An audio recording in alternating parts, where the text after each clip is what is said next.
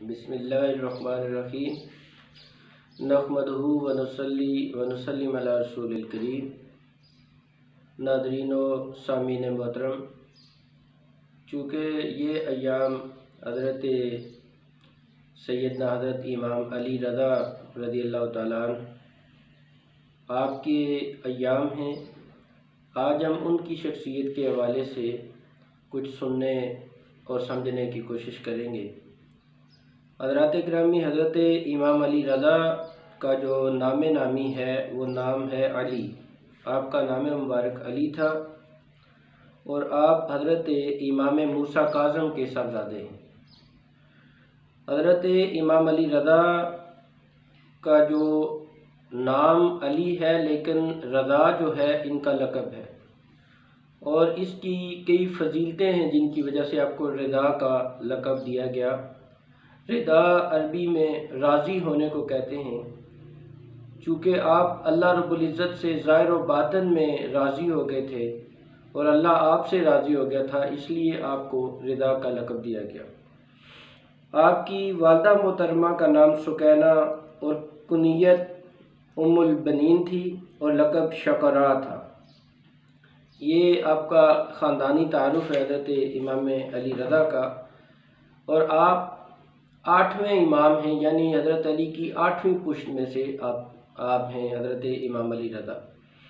जहाँ तक आपके इल्मी मकाम का ताल्लुक़ है, आप जहाँ आली नसब थे, वहाँ पर आप बुलंद पाया आलम भी थे, साहिब कमाल भी थे और वक्त के इमाम भी थे।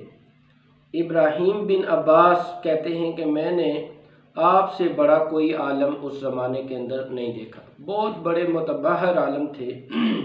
बिलखसूस तमाम अलूम इस्लामिया पर अबूर के साथ साथ इल्म हदीस में आपको बड़ा कमाल हासिल था। आप नेशापुर एक दफ़ा अपनी हयात में तशरीफ़ लाए। ये वाक़ बड़ा ही बहुत से, बहुत सी तारीख़ की कुतब में आता है और बिलखसूस इबन हजर मक्की रहमत ताला ने आपका ये वाक़ बड़े शर बसत के साथ बयान किया है। जिसमें आपकी इल्मी फजीलत का भी, आपकी नस्बी फजीलत का भी पता चलता है।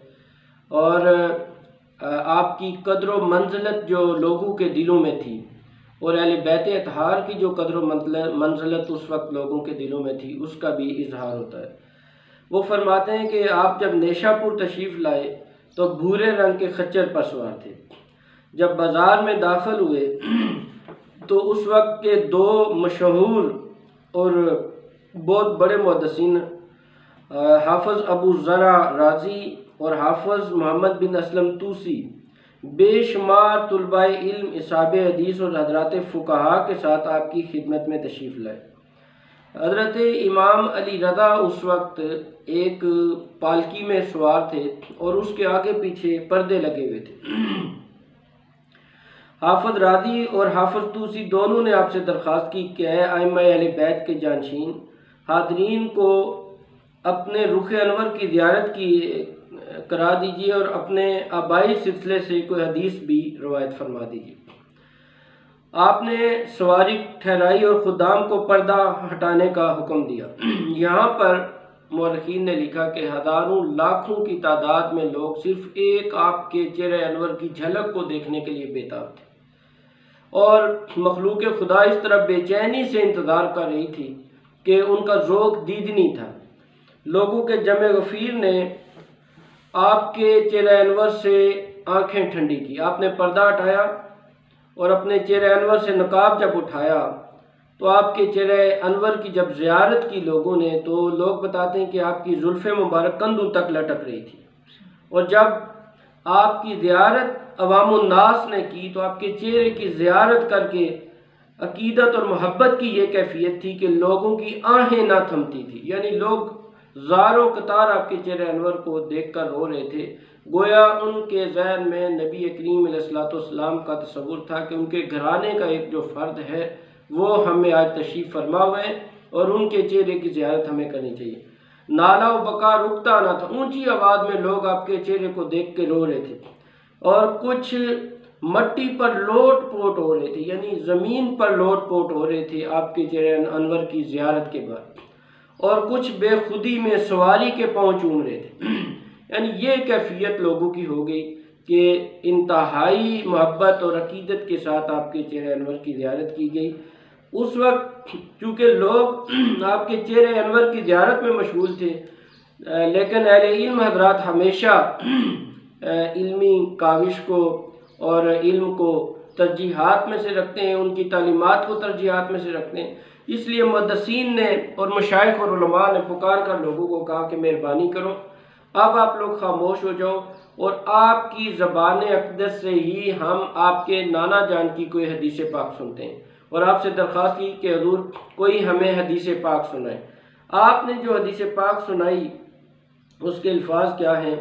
हदसनी अबी मूसा अलकाज़म, अन अबी जाफिर अन अबी मोहम्मद अलबाकिर अन अबी ज़ैनआबदीन अन अबी अलहुसैन, अन अबी अली इबन अबी तालिब रदी अल्लाह तहुम कौल खदसनी खबीबी वक़ुरत आइनी रसूलुल्लाह सल्लल्लाहु कौल हदसनी जिब्रील, कौल समेत रब्बिल, रब्बल यकूल खिसनी फमन, कौल हा दखल खिसनी फमन दखल खिसनी।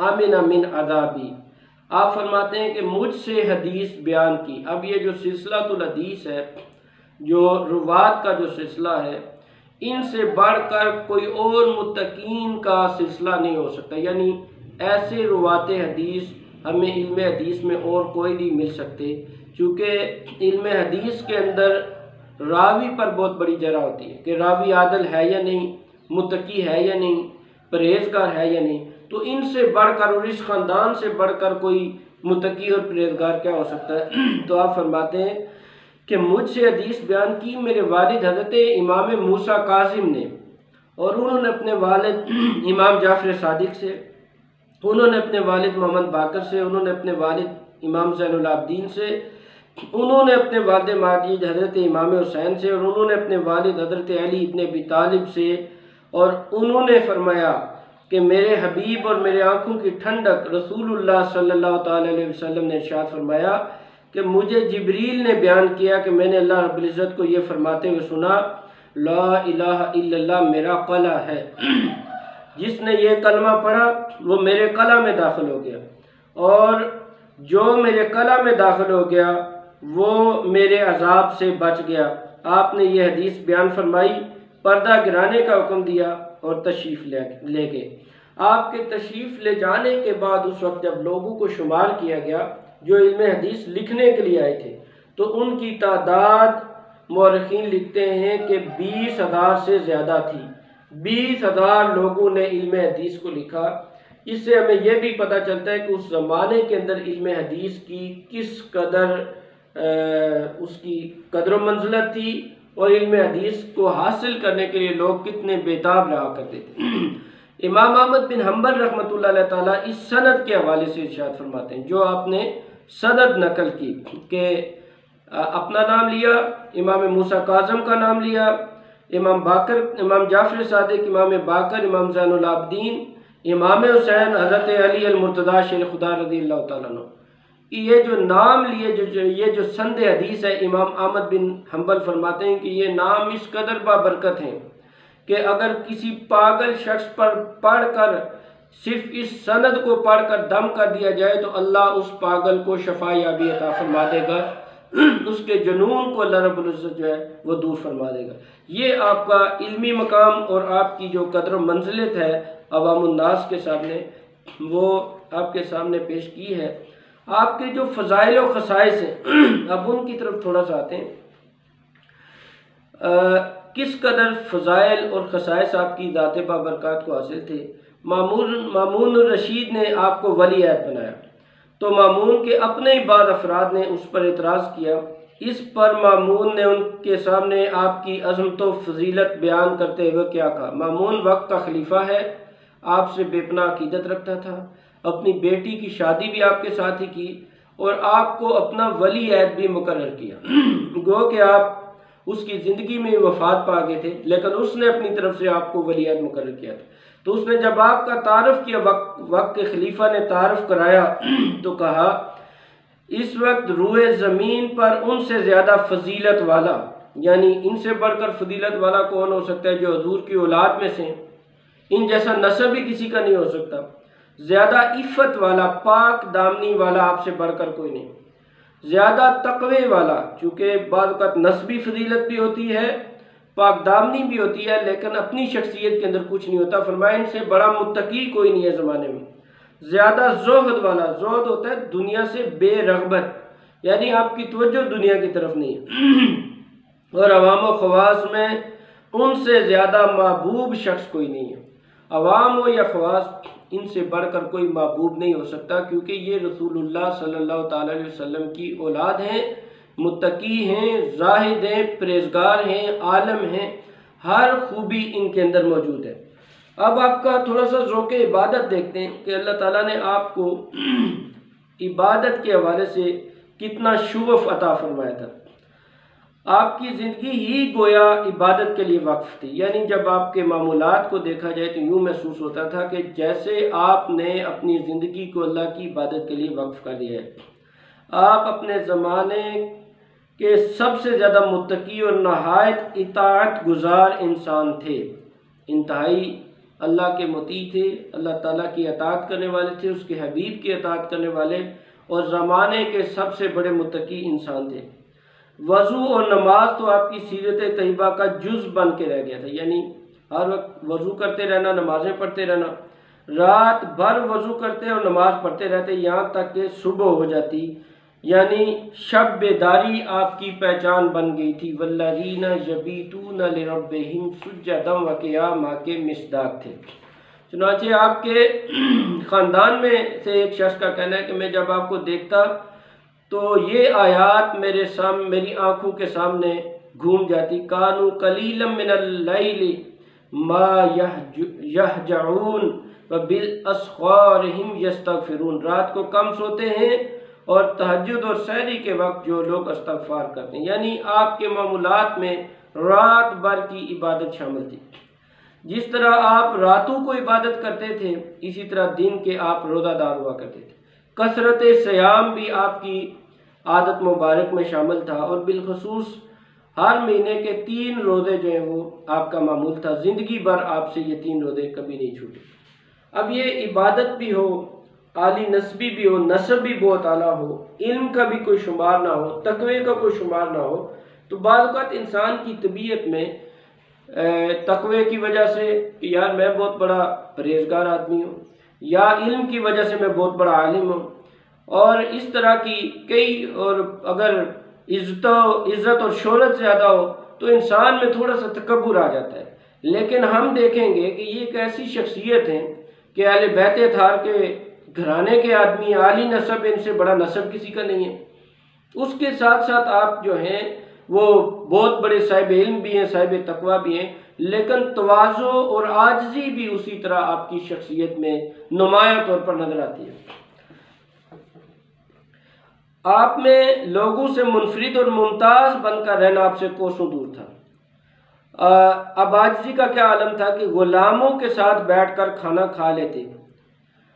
और आपकी नशिस्तगाह शादी और मुतवाज़ाना थी। यानी ये नहीं कि बहुत ज़बरदस्त किस्म की कोई अच्छी किस्म की कोई आपने अपनी नशिस्तगाह रखी थी, बल्कि इंतहाई शादी और मुतवाज़ाना गर्मियों में खजूर के पत्तों की चटाई, सर्दियों में टाट और कभी बकरियों की खाल पर बैठ जाया करते थे। ये आपकी नशिस्तगाह थी, जो हमें ये बताती है कि आप अपने नाना जान हज़रत मोहम्मद मुस्तफ़ा अलैहि वसल्लम के सही मती और फरमा बरदार थे।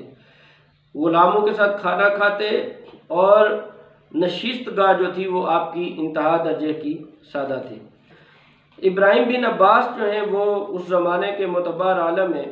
उन्होंने आपकी तवाद और हुसन का नक्शा खींचा तो कहा कि मैंने इमाम अली रजा से अफजल शख्स कोई नहीं देखा। यानी उनकी, उनको जो अल्लाह ने फ़जाइल अता फरमाए थे, उन जैसा बंदा उस ज़माने में मैंने नहीं देखा। उन्होंने कभी किसी के साथ ज्यादती ना की, ना किसी की बात काटी, ना किसी की हाजत ठुकराई। ये खूबियाँ बयान करें बाज़ात बंदा ज़रा उसका जो मनसब हो तो होता है कि बंदा किसी के साथ ज़्यादती कर जाता है, ज़्यादती नहीं की, किसी की बात नहीं काटी। इल्म में बिलखसूस बोलने की आदत बहुत ज़्यादा होती है, लेकिन आपने कभी किसी की बात नहीं काटी, किसी की हाजत नहीं ठकराई। ना अपने हम नशीन के आगे टांगे फैलाई बाद होता है कि लोग टांगे फैला कर उनके पाँव की तरफ़ लोग बैठे होते हैं, इस तरफ़ बैठ जाते हैं। तो फरमाया उन्होंने, कभी टांगे ना फैलाई, ना ही पहले खुद तकिया लगाया, ना कभी गुलामों को बुरा भला कहा, बल्कि अपने ग़ुलामों के साथ बैठ कर आप खाना खा लिया करते थे। ये आपकी खसूसियात में से है।